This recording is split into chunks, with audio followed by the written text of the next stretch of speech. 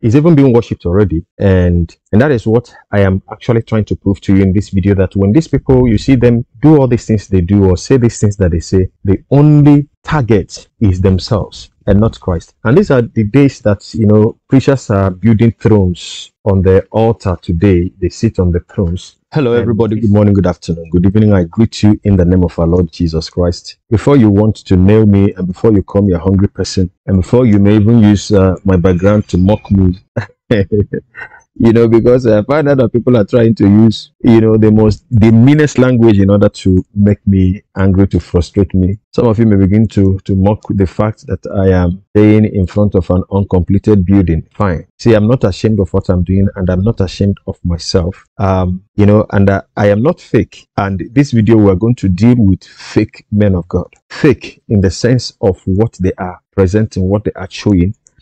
They may be real, but what they are saying is presenting them in the light of faith. Now we're going to use the word of God to establish that.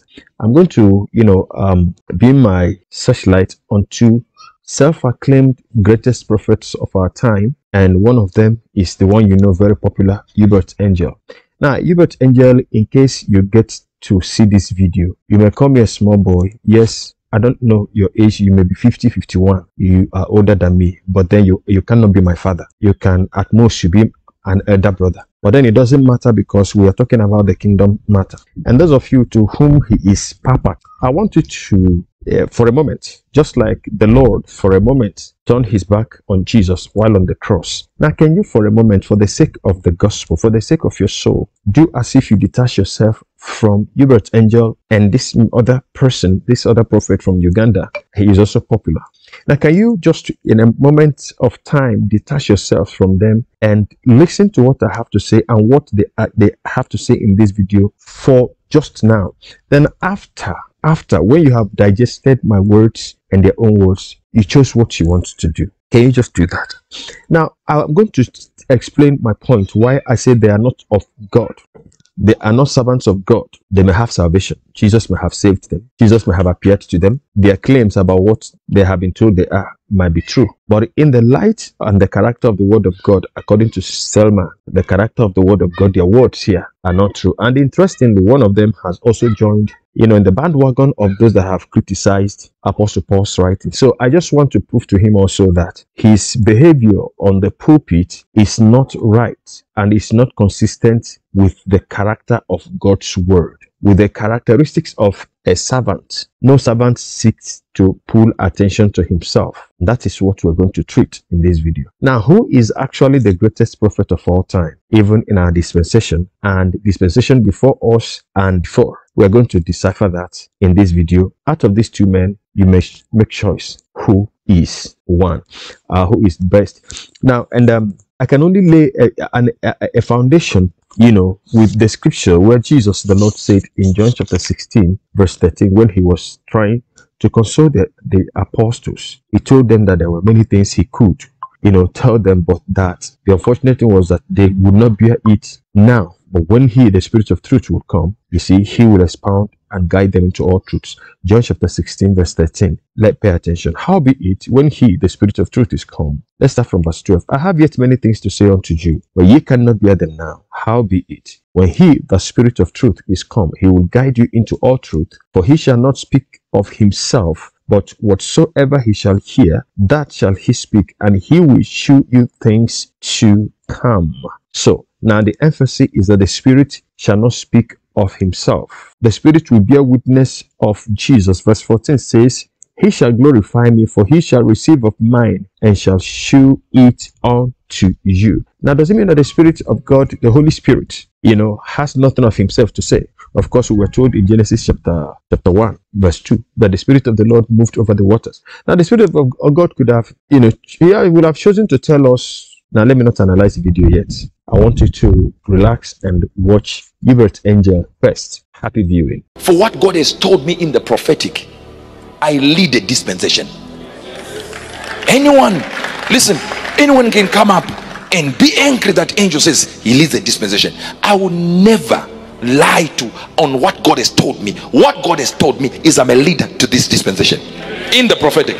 There are others that are apostolic leaders. There are others maybe that are prophetic teachers. Eh, that's another story. But as the pure prophetic, I'm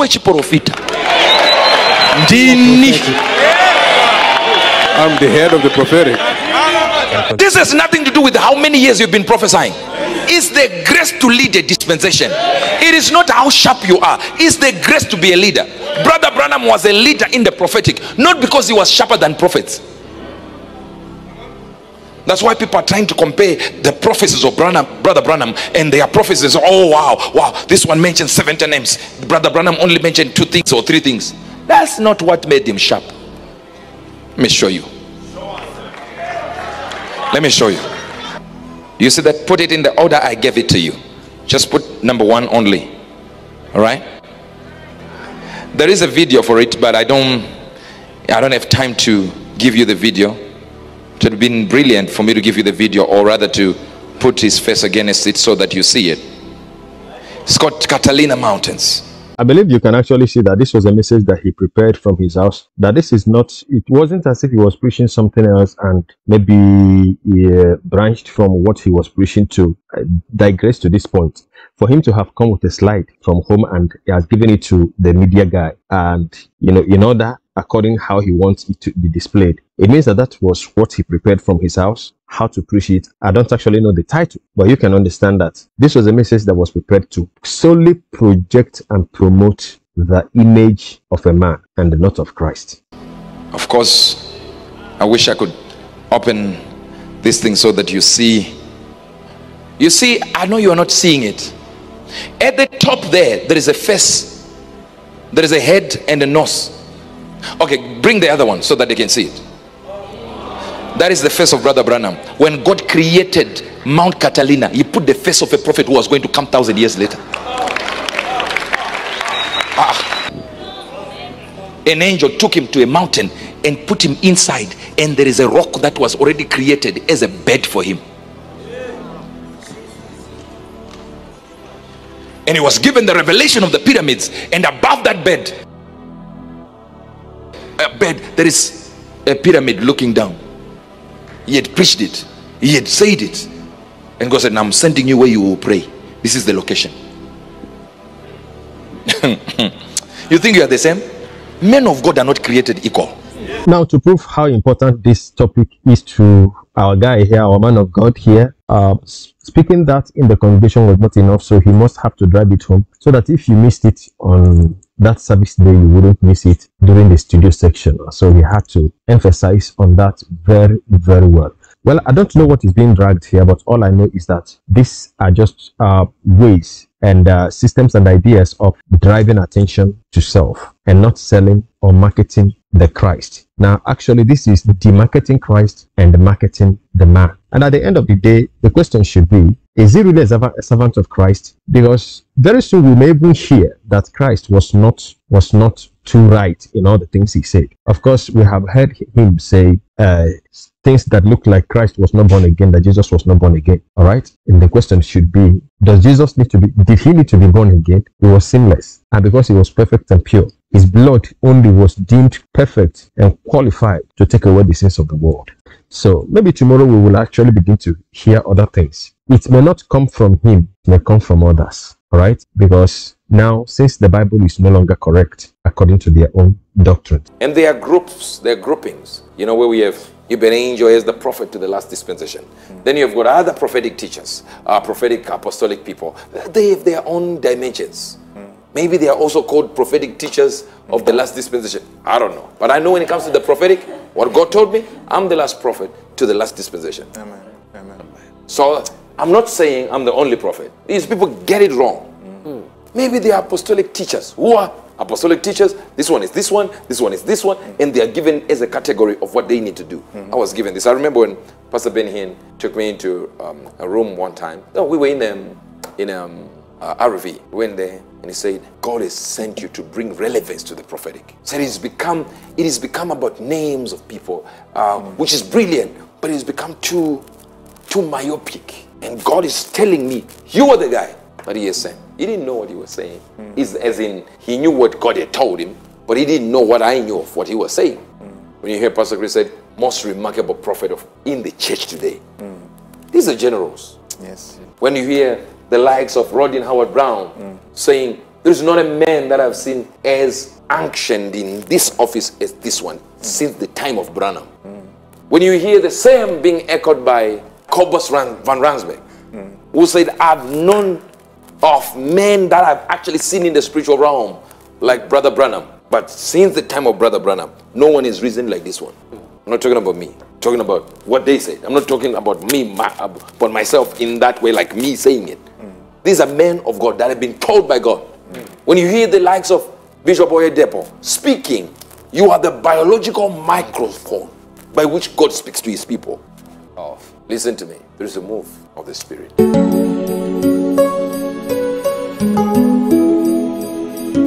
You are welcome to the End Time Truth Television, the channel for the lovers of truth, for the truth of the end time. So if you are a lover of truth, Give us a subscription and God bless you.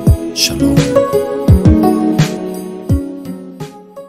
You know, um, this is not the first time that you may have been hearing, you may have heard Uebert Angel says something like this. I remember i made a video here about this when after he made that, I think a few days later, I don't know how, uh, you know, how old it was. Uh, when you, uh, Suleman, you know, responded and said, you are not the father of prophetic. He didn't call his name and um, I I beg to know or to find out who else you know he was talking to us at that time who claimed also to be the father of the prophetic.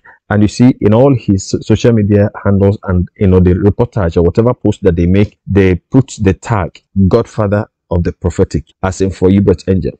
So maybe before they became friends, before they came together as one, uh, that probably was when that thing happened. But then we have another prophet. His name is Elvis Mboye. Before I bring his own statements and his own uh, bragging, it is proper that we lay a proper foundation of the man. The proper foundation I want to lay is to show you the kind of a person he is. He's, uh, he's even being worshipped already. And, and that is what I am actually trying to prove to you in this video that when these people, you see them do all these things they do or say these things that they say, the only target is themselves and not Christ. And these are the days that, you know, Preachers are building thrones on the altar today. They sit on the thrones, and this is a man that will, you know, stick out his uh, foot, and members will begin to kiss his leg, kiss his shoes, you know, with their with their mouth, with their lips.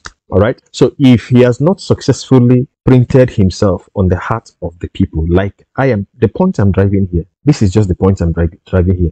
And I'm, I'm not I'm not telling you things that you can you will not find in this video. This is the man himself being worshipped here.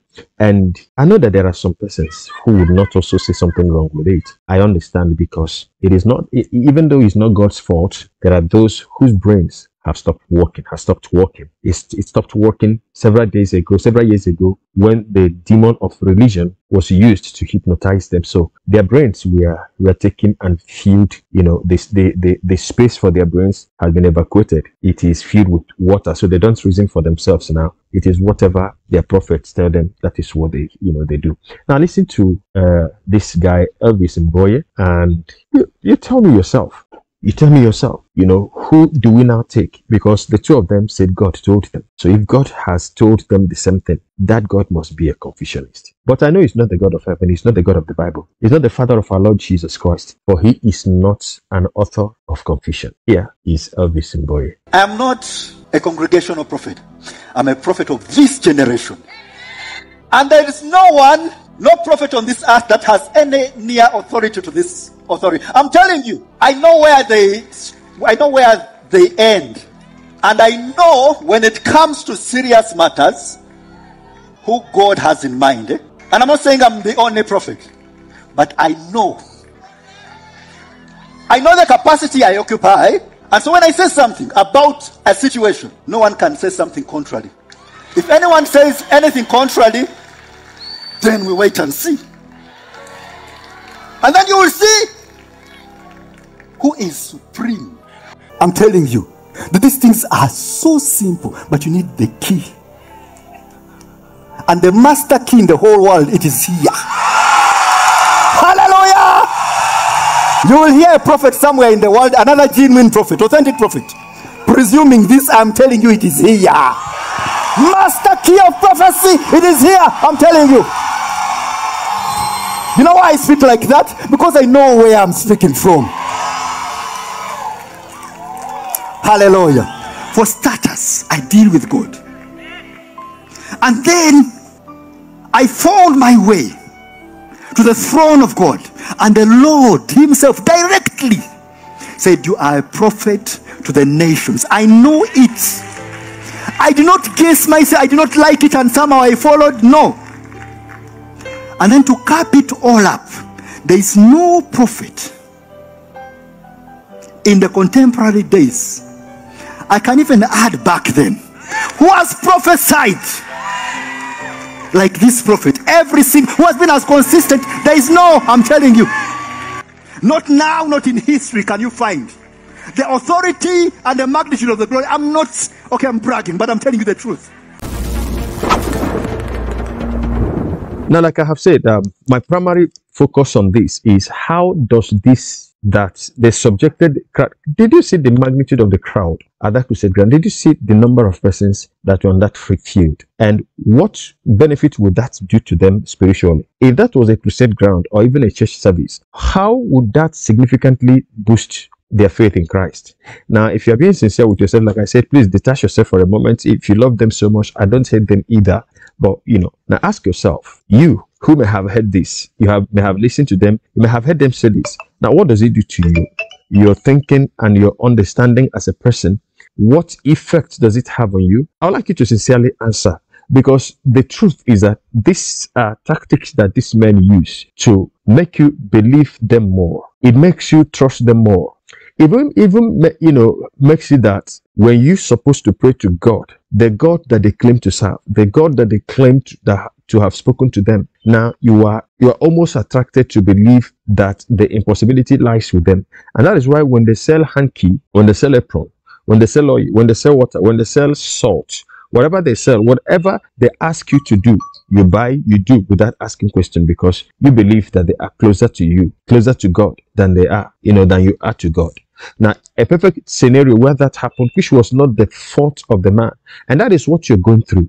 When the Lord came down at Mount Sinai, he wanted to address the, the you know, the, the assembly of Israel. Now, when he started speaking, Moses was a man of like passion as they, as they were, but they ran away from the voice of God and they told Moses, you go and hear him we don't want to listen to this God that is speaking like thunder, lest we die. So the voice of God now would kill them. You know why? they are not they were not conversant with that voice they were not they were not in relationship with the owner of that voice moses who was in relationship with him moses who has related with him you know could comfortably stay in his presence and he even stayed closer than the the, the assembly of israel you know uh, was to the mountain and yet he had not died the same moses spent 40 days and nights in the presence of this god he did not die now they sent him, go and hear him and come and relate to us. Now that is what you are enacting. But the Bible tells us that when Jesus, the night that Jesus was crucified, that the temple curtain, the, the temple curtain tore from top to bottom. It got destroyed from top to bottom, meaning that God himself tore it from his throne. He tore it. So that means that you can access God. And like I started, the scripture I started with, there is nothing else that will make a man to speak for himself, to speak of himself, if it is not pride, if it is not hidden pride. Jesus the Lord, and here is why I say they are not of God. If Jesus the Lord said that the spirit of truth that will come will not speak of himself, but will speak of Jesus. Now, whatever the spirit gets from him, he will speak. And he will not say anything about himself, but about the Lord Jesus. Now, look at what Jesus himself said in John chapter 7, verse 18. John chapter 7, verse 18. In verse 18, he says, He that speaketh of himself seeketh his own glory. But he that seeketh his glory that sent him, the same is true, and no unrighteousness is in him. Should I read it with a different version? He who speaks on his own authority seeks to win honor for himself. So have you seen it? Your prophets are seeking to win the honor, your honor for themselves. He whose teaching originates with himself seeks his own glory. But he who seeks the glory and is eager for the honor of him who sent him, he is true and there is no unrighteousness or falsehood or deception in him. So when these men have started, have stopped preaching Christ and they are preaching about the anointing and their calling, how great they are. You see, the man, even the, the, the Elvis Boye, now went even backward. That means that he could even more prophetic than Isaiahs of this world, the Jeremiahs of this world, the, the Ezekiels, the Elisha and the Elijah of this world, the major prophets we heard at their stories in the Bible, he could be stronger and more unique than they. But those men never spoke of themselves. Those men never risked the, the risk they took, they took it for the name of the Lord to be heard. But look at a man standing before you, telling you, yes, I'm bragging. But then we can even extend it backward and even at the present. Now I want to ask for him. That means that after him, there may not be any prophet. Yet I've not heard of him. This video is the first time I'm coming across him. So that makes him, you know, that makes him insignificant. That he claims what he claims is insignificant. So Jesus said, He who speaks on his own authority seeks to win honor for himself. Now, uh, MSG said, A person making things up tries to make himself look good, but someone trying to honor the one who sent him sticks to the facts and doesn't tamper with reality. So, you know, by extension, they are liars by extension, the things they are saying is not true. Apostle Paul told us in uh, 1 Corinthians chapter 3 in verse 21, he said, let no man glory in man. And I'm talking to you now. He said, let no man glory in man. You, I am telling you, don't glory in man. Why, why, why did that come about? It came about because there was this kind of carnality in the church. If you read from verse 1, he said, And I, brethren, could not speak unto you as unto spiritual, but as unto carnal, even as unto babes in Christ. I have fed you with milk and not with meat, for hitherto ye were not able to bear it, neither yet now are ye able, for ye are yet carnal. Now I, I love how this version put it. Amplified said, For you are still unspiritual, having the nature of the flesh of the flesh under the control of ordinary impulses for as long as there are envying and jealousy and wrangling and factions among you are you not unspiritual and of the flesh behaving yourselves after a human standard and like mere unchanged men verse 4 for while one saith i am of paul and another i am of apollos are you not unspiritual are you not carnal now those of you that will want to type to defend this or that because you think I am jealous, because you think, you know, I don't have the gift they claim to have. And I want to even ask you, what significance has that gift made in your life? Write it in the comment section. Tell me, tell me what that their so-called prophetic, you know, bragado or whatever, prophetic, prophetic, forensic prophetic expertise, prophetic greatness, prophetic uh, uh, masterpiece. I don't even know the word to use to qualify them anymore. Now, what has that brought into your life? What has it done to your life? How has that their gift, that thing they bragged about, how has it changed your life? How has it made a difference in your life? What have you benefited from this thing? If you were in the service or you have listened to them talk these jargons here, I call it jargons because it, that is what it is. Anything that does not edify, that does not glorify, that does not build up, that does not add, you know, uh, uh, um, to, to the life of a child of God is not worth listening to. What, you know, once it is coming from a so-called servant of God. So the Bible says, while one said, I am of Paul, and another, I am of Apollos, are you not carnal? This thing you are doing now, some of you are doing now, was what they were doing in those days. Some were fighting against those that said they were of Paul, and some were fighting of those that said they were of Apollos. And when Apostle Paul came, Apostle Paul is not like this, your, your prophets and pastors that are even encouraging you to go after those that are speaking against them. Apostle Paul says, Who then is Paul and who is Apollos? But ministers by whom ye believed, even as the Lord gave to every man. And mind you, these people were even fighting for the people through whom they heard the gospel. But I, I can prove it. I mean, I can challenge you. Tell me if it was Uebert Angel you heard that made you give your life to Christ. And it, are, are you even sure that you are saved? You are not even so sure you are, you are saved. You're only banking your, your salvation experience based on what you think, based on what you are told. But if ever, even however, that it was Uebert Angel that made you believe in Christ, put it down in your comment section. Beyond Uebert Angel, all these flamboyant preachers, preachers that are preaching themselves and are not preaching Christ, who then is Apollos, who is Paul, but ministers by whom you believed, even as the Lord gave to every man. I have planted Apollos water, but God gave the increase. So then, listen to this. Neither is he that planted anything, neither he that watereth, but God that giveth the increase. In other words, Uebert Angel, with all his gifts, uh, is nothing. Uebert Angel, Elvis Mboye, with all their prophetic gifts are nothing.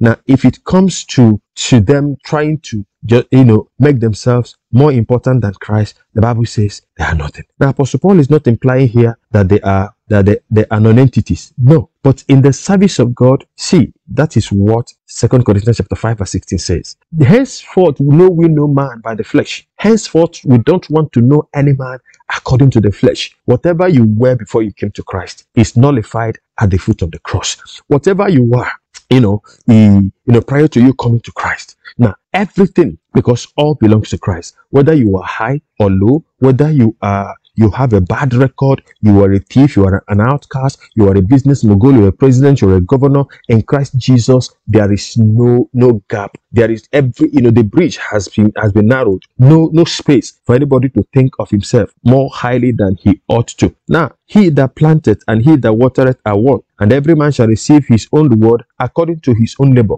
Now I cannot finish this this this this chapter. Now the Bible says he goes down in verse 21 and say, Therefore let no man glory in men for all things are yours. Uh, let me read it in amplified.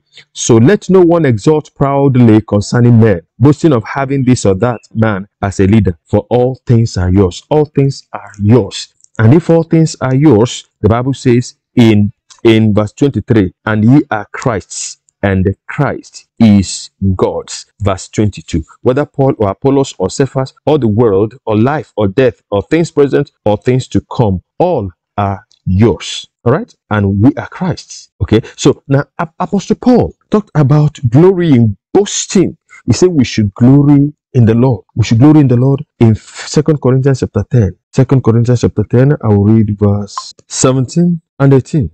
But he that glorieth, let him glory in the Lord. For not he that commendeth himself is approved, but whom the Lord commendeth. This is simple enough for you to understand. But MSG says, what you say about yourself means nothing in God's work. It's what God says about you that makes the difference. And so verse 17 says, if you want to claim credit, claim it for God. You see, you see the bragging.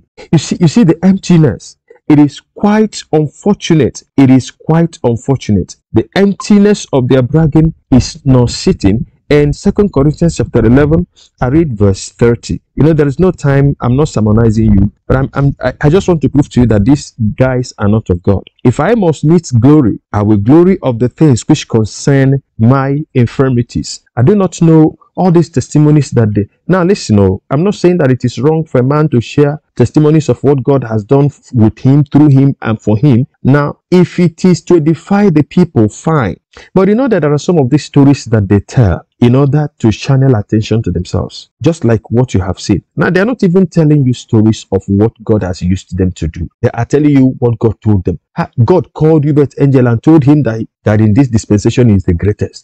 And the other one too. You, you consider this now. Before you go ahead to defend them, please, can you just consider this? Apostle Paul, if you read the entirety of this verse, of this, uh, of, of, of uh, I mean, uh, uh, uh, what, what is it called? Uh, Second Corinthians chapter 12. If you read the entirety, look at the experience that Apostle Paul had. And if you're not even careful, you wouldn't know that Apostle Paul was talking about himself. Now, but consequently, because God cares so much, about our humility. In that second Corinthians chapter 12, verse 1, he says, It is not expedient for me, doubtless, to glory. I will come to visions and revelations of the Lord. Now, there are so many things he has, experiences he has had. But he said, It is not it is not profitable for him. True, there is nothing to be gained by it, but as I am obliged to boast, I will go on to visions and revelations of the Lord.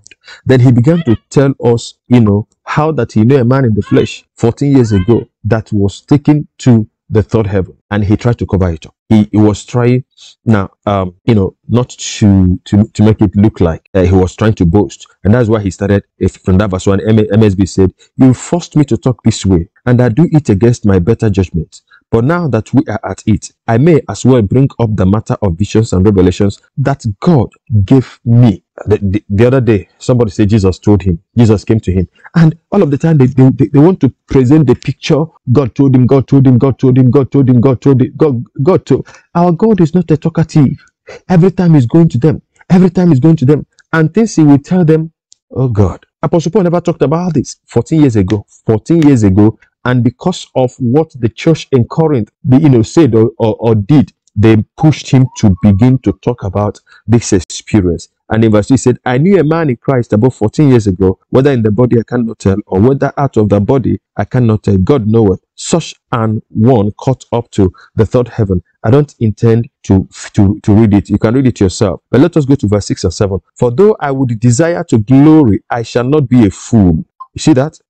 Should I desire to boast, I shall not be a, wit a, witless braggart, for I shall be speaking the truth. Let's go back to KJV. For though I would desire to glory, I shall not be a fool, for I will say the truth. But now I forbear, lest any man should think of me above that which he seeth me to be, or that he heareth of me. So Apostle Paul knew the consequence of telling these extraordinary experiences, talking about them. He said, because I don't want anybody to rate me higher than who I, he ought to see me, higher than the person I am supposed to be. Say, I will not talk about it. And he never spoke about it.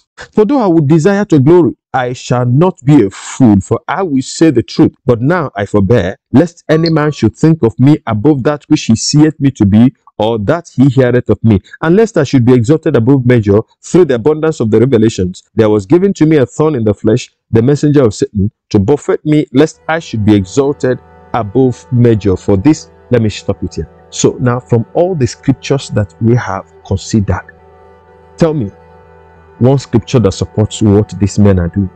When people will have opportunity to speak to hundreds of thousands of persons, now as they as they were ministering to that great multitude that gathered in that meeting, there were others streaming online, some on Facebook, some on YouTube, some on X, some on TikTok, and other social media platforms, and some also through Zoom.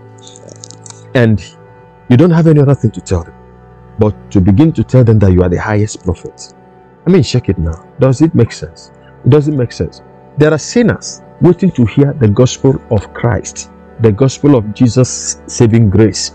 And you have the opportunity to talk that, to tell them that. There are, there are young believers in the congregation that need to hear how their faith in Christ to be established how they should move from point A to point B. And you're not telling them that, you're only telling them how to depend on you, how to know that you are the best, so that the next time if you ask them to empty their bank account, they will do that because you are the mouthpiece of God. May the good Lord give you understanding that I want to defend them in the name of Jesus. You know what? It is better. You see, I, I don't do this because I love everybody. And actually, when I talk about those that that defend these people, I don't talk about them because I want them to stop. I mean, that I'm afraid of what they're doing. I truly want them to stop.